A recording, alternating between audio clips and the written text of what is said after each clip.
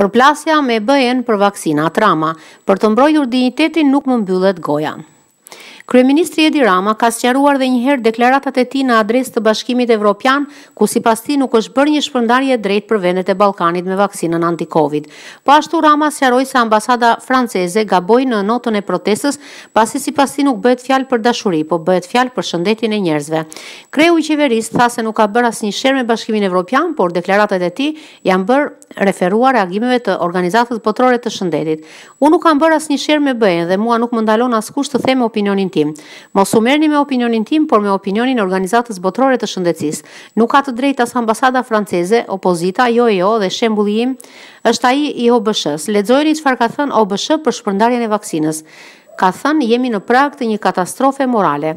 E çfarë thashë unë që u mërzitën këta? Për respektin dhe dashurinë ndaj Francës, se unë konkurroj me çdo francez. Është një situatë e tillë, vazhdon kryeministri Edi Rama. Pra, është një situatë e tillë që duket çdo gjë mjaft qartë. Këtu është fjala për të mbrojtur dinjitetin dhe njerëzit dhe kur është fjala për të, nuk e kam gjuhën e nënës për të mos folur. Duhet të shprehem. Ku është problemi? Pse mërzitet Bashkimi Evropian? deklaroi Rama. Duhet t'i themi BE-së bravo që na harruat dhe na latë jashtë, apo të bëjmë sikur nuk kuptojmë? Ne jemi miq dhe e dimë se çfarë kanë bërë ata për ne. E ça domethënë kjo, mos hap gojën për të mos folur për njerëzit e mi? Pse mërzitet ambasada?